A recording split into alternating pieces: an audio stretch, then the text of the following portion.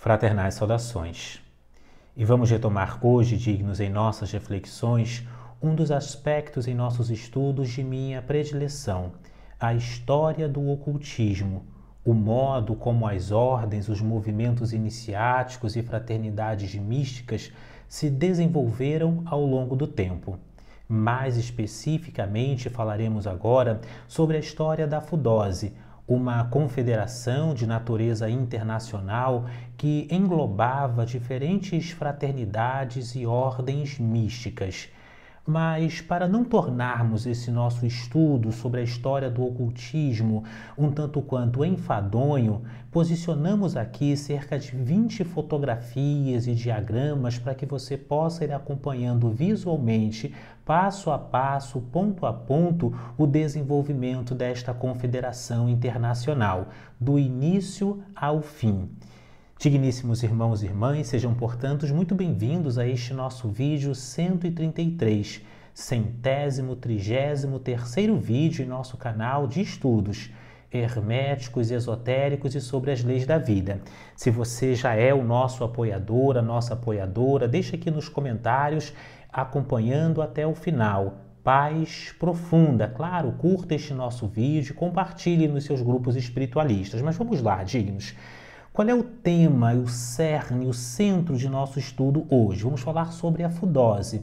Federação Universal das Ordens e Sociedades Iniciáticas, é uma sigla advinda do francês e do latim que se refere a esta organização. Vejamos que tudo, das 20 fotografias que vamos aqui gradualmente posicionando, dignos, nós vamos começar por esta, que é a figura de papos. Já até falamos em outros vídeos, em outros estudos sobre papos. O nome de batismo, de registro e nascimento deste francês é Gerard Encalce, doutor Gerard Encalce, Encalce, formado em medicina. Ele que nasceu na segunda metade do século XVII e veio a falecer em 1916, servindo como médico na Primeira Guerra Mundial. Ele é a raiz da fundação propriamente da Confederação Internacional das Ordens Esotéricas. E sim, vamos posicionar aqui nominalmente as ordens esotéricas, quais foram estas ordens, quais não estavam estavam, quais são os aspectos positivos e negativos. Por isso, fique acompanhando aqui até o final este nosso vídeo deixe seus comentários aqui também em nossa caixa de mensagens mais abaixo. Mas vejamos, o Dr. Gerard Encalce, em 1908, já membro partícipe de diferentes organizações iniciáticas de círculos maçônicos, ele que era iniciado maçom, pertencia a organizações de natureza Rosa Cruz, bem como era também um expoente e um reformulador, ou melhor dizendo, um formulador do pensamento martinista, iniciático e fraternal, ele cria ali em 1908 uma confederação denominada de Congresso Espiritualista. A ideia central do médico Papus, autor de numerosos livros importantes na história do ocultismo, era congregar num único círculo entidades das mais diferentes interpretações de natureza ocultista e esotérica. Papus ele vai criar esta confederação, dignos, baseando-se muito na sua tradição advinda de Luiz Claude Saint-Martin, que foi um também um grande místico igualmente francês, isto ali na, durante o século XVIII, que desenvolveu todo um pensamento gnóstico cristão. Então, a base e o fundamento de Papos era o martinismo, advindo de Luiz Claude Saint-Martin, entretanto, numa visão tanto quanto mais ritualística, uma ordem também que vamos estudar aqui no outro vídeo, mas vamos aqui apresentar também o logo, o logo e os principais fundamentos dessa organização, mas baseando-se nos princípios de Luiz Claude Saint-Martin, do qual ele era uma espécie de herdeiro iniciático. Vejamos que Papos ele já estava sob ou com a ajuda de outros indivíduos, dentre os quais este senhor aqui, denominado de Stanislas de Guaita, é, marquês em realidade, ele que era herdeiro também de um título nobilitário antigo francês, o marquês Stanislas de Guaita, que havia fundado isso no ano de 1888 na França, a chamada Ordem Rosa Cruz Cabalística. Nós já estudamos aqui em nosso canal, nos outros estudos sobre o ocultismo, que rosacrucianismo, tal como maçonaria, não é uma ordem em si, não está sujeita, submetida, circunscrita a um único CNPJ, a uma única hierarquia, mas constituem em realidade movimentos que englobam em suas filosofias diferentes organizações. Uma delas é justamente essa ordem criada em 1888. É, o Marquês de Guaita é igualmente um grande expoente do misticismo. Então, em 1908, essa confederação tinha também Stanislas de Guaita como uma de suas principais figuras. Outra figura interessante, fundador dos chamados Círculos dos Salões da Rosa Cruz, que era um movimento Rosa Cruz também de natureza mais artística, e também um tanto quanto mais poética é o chamado é, aqui Josephine Peladin é o nome desta figura, né? É até para os tarólogos, para os cartomantes algo importante. Geralmente se fala muito no método Peladin sem se saber exatamente quem era Josephine Peladin. Josephine Peladin, pertencente a esse círculo iniciático de, de papos, estava lá junto de papos na fundação desse congresso espiritualista. E outras figuras tantas, nós vamos ter aqui é, papos numa reunião também, junto com é, o seu mestre Felipe de Lyon, que merece um outro vídeo aqui em nosso canal, enfim, uma série de figuras importantes. Veja que este movimento, com esta ideia e esses personagens, depois mostra as outras fotografias e até um livro importante que tenho aqui para os senhores, mas vejamos que eles se reúnem em 1908 e ficam entre 1908 e 1913, 14 exatamente construindo uma série de reuniões que juntava o rito maçônico de Memphis Mizraim, o rito escocês antigo e aceito, a própria organização Rosa Cruz, diferentes Rosa Cruzes cabalísticas, a Ordem Rosa Cruz Pitagórica, o chamado Deixe me mostrar isso aqui já para os senhores no, no livro, dignos. É, aqui eu tenho em mãos o manual Rosa Cruz, da Amor, que né, original lá do senhor Spencer Lewis, sobre, sobre o qual vamos falar mais adiante. Mas vejamos o seguinte, ele também tinha como um dos seus auxiliares é, um conde francês chamado François Jolivet Castellotti, nesta fotografia aqui posicionada na página de número 19 do Manual Rosa Cruz Antigo. Né, aqui nós temos a figura, para quem não conhece, do mestre Kurt Rumi, que é um dos mestres espirituais de inspiração do Dr. Harvey Spencer Lewis, mas aqui nós temos justamente o presidente da Sociedade de Alquimia da França, fundada em 1889 pelo conde François Olivetti Castellotti, que auxiliava o Papos na formação inicial desta mesma congregação. Aquilo funcionava como uma espécie de universidade reunindo diferentes matérias, estudando astrologia, a quiromancia, enfim, os, os ritos iniciáticos e ao mesmo tempo servia ali, tinha essa pretensão de uma organização que tentava expurgar organi pretensas organizações ou indivíduos que mal utilizassem os nomes iniciáticos. Bem, isso tudo é lançado no limbo exatamente por ocasião do, da eclosão da Primeira Guerra Mundial. Então lembremos que entre 1914 e 1916, aproximadamente, nós vamos ter ali a Guerra Mundial 1918, né? A, guerra, a Primeira Guerra Mundial. Papos como médico, ele vai servir na guerra na Primeira Guerra Mundial e morre durante a Primeira Guerra Mundial, né? Papos que é esta esse personagem aqui que nós posicionamos. Ele morre durante a Primeira Guerra Mundial e em 1916 e estas ideias, o círculo iniciático é, que, que, ele propriamente dirigia, martinista, outras ordens que ficavam ali orbitando no entorno de papos, bem como a Confederação Internacional, ela finda, ela entra num estado de adormecimento. Pois bem, a Primeira Guerra termina em 1918 E nós vamos ter um renascimento disso alguns anos depois, principalmente com a, com a ajuda de figuras, Papo já tinha morrido, que auxiliavam Papos, né? Dentre as quais Agostinho Chabozot é uma desses personagens interessantes. Antes de entrarmos aqui no Renascimento, vejamos, dignos, separei aqui para os senhores até a, a, imagem de um outro personagem que é Antônio Olívio Rodrigues, que estava em contato direto com Papos.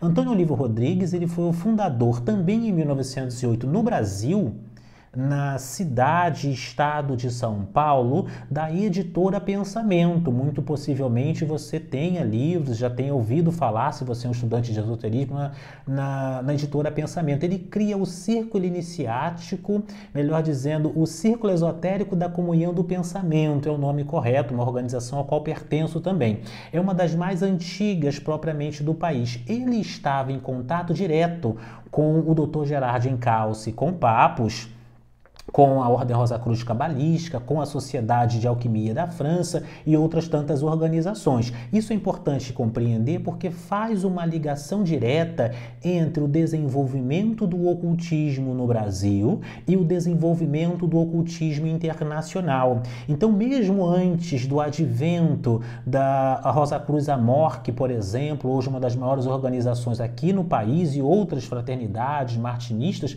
nós já tínhamos um uma figura poderosa. É antes, inclusive, da fundação ou da instauração moderna do rosacrucianismo, que foi se dar com o Dr. Harvey Spencer Lewis em agosto de 1915, em Nova York, nos Estados Unidos. Então, um tanto quanto mais depois e durante ainda a Primeira Guerra Mundial.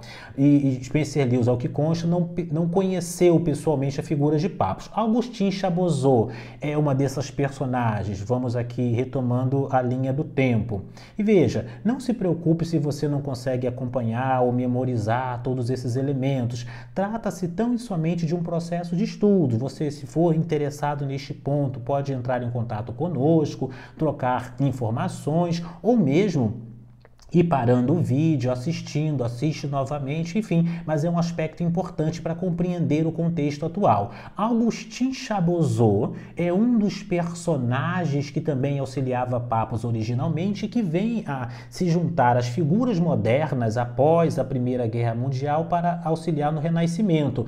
Aqui nós temos, por exemplo, a figura do mestre Felipe de Lyon, que é um grande taumaturgo, ele que tinha capacidades psíquicas de produzir fenômenos extraordinários, um tanto quanto fortes e reconhecidos, também merece um outro estudo aqui em nosso, em nosso canal. E a figura central mística é este senhor aqui que é justamente o Senhor Hierônimos, né? É o nome deste mestre místico. Deixa eu ampliar aqui para os senhores.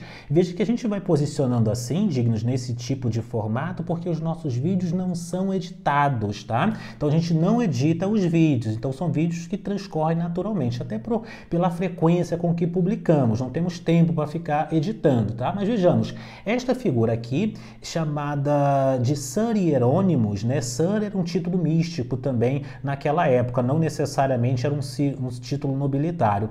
É Emile Dantini, um dos grandes personagens que foi a figura central, por assim dizer, da refundação da Fundose. A Fundose, vamos retomar, foi fundada aqui, é, refundada, né? Primeira etapa, 1908, ela para em 1913. Depois ela é reiniciada em 1933 com Victor Blanchard, Sir Hieronymus, que é Emile Dantini, e com o próprio Ravi Spencer Lewis. Aqui nós temos uma fotografia também desta confederação nos seus primórdios, é um dos pontos também interessantes de estudo, de papos e com outros.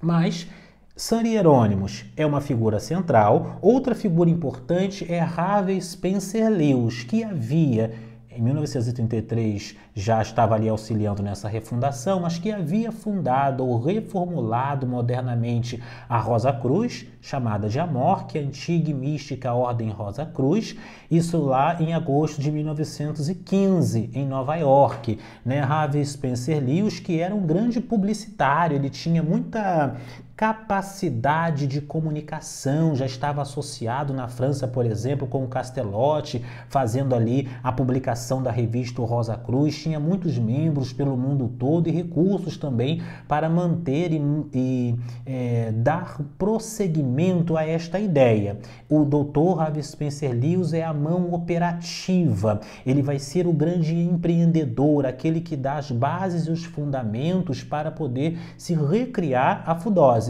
Federação das Sociedades e das Ordens Iniciáticas. Este é um ponto. Aqui nós temos a própria figura do Dr. Harvey Spencer Lewis também, com o seu filho primogênito que veio a sucedê-lo, inclusive diante desta confederação iniciática.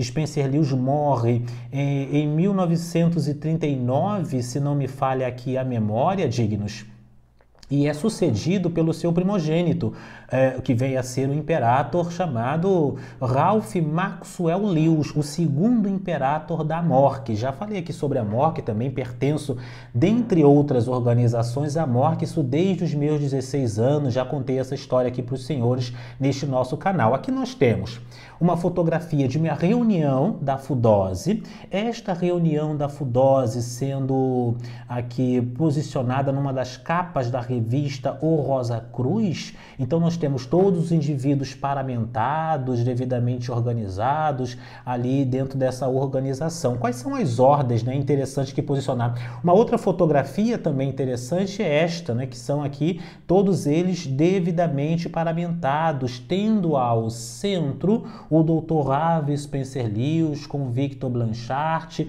são aí os personagens de movimentação de grande força dessa organização. Vamos aqui às ordens né, que pertenciam a esta Confederação, isso em 19, na década de 1930, né? Ordem Rosa Cruz Universal, Ordem Rosa Cruz Universitária, Ordem Rosa Cruz Pitagórica, né? Já falamos sobre o ritual pitagórico e até sobre Pitágoras num outro vídeo, tem toda uma conexão com uh, o movimento místico que depois veio uh, a ser algo similar aos essênios, né? Temos a Ordem Martinista e Sinárquica, que é um dos desdobramentos do movimento martinista após a morte de Papos em 1916. A Ordem Rosa Cruz Amor, que já falamos sobre ela, a Ordem Martinista Tradicional, que era propriamente afundada por Papos em 1888, a Igreja Gnóstica Universal. As igrejas gnósticas também acompanhavam estes movimentos. A Teosofia, é, criada ali, é, formulada por Helena Petrovna Blavatsky em 1875, ela tinha também o seu movimento, a sua igreja gnóstica, principalmente pelas mãos de Charles Leadbeater e Anne Besson mas também os Spencer Lewis tinha na morte a sua eclésia gnóstica, a Frate tinha sua eclésia gnóstica, o Dr. Papos também tinha sua eclésia gnóstica, enfim, é um rito propriamente de missaico, mas de natureza mística e esotérica. Outras sociedades, Sociedade de Estudos e Investigações Templárias, Ordem Cabalística da Rosa Cruz, já falamos sobre isso, fundada em 1889 pelo Marquês de Guaita, Josefim Peladan, papos e outras figuras importantes, é, Ordem de Estudos Martinistas, Ordem, Ordem Sinárquica da Polônia, Ordem da Milícia Crucífera Evangélica. Vou apresentar alguns brasões dessas organizações para os senhores, para quem não conhece. Sociedade de Alquimia da França, já mostramos aqui neste livro, bem como a Ordem da Lise e da Águia. São algumas das organizações, dignos irmãos, que faziam parte desse movimento. E nós temos aqui, para não alongar muito esse nosso vídeo, o emblema da ordem martinista tradicional que foi reformulada e, e, como foi recebida pelo Dr. Spencer Lewis, lembremos, hoje o martinismo não é mais apenas uma ordem, é um movimento, então existem várias ordens e círculos martinistas, mas o mais comum, o mais conhecido aqui, quando a gente fala em martinismo no Brasil, é a TOM, tradicional ordem martinista, a qual também pertenço. Aqui nós temos o emblema da AMOR, que é a antiga e mística Ordem Rosa Cruz, uma das tantas ordens Rosa Cruzes existentes,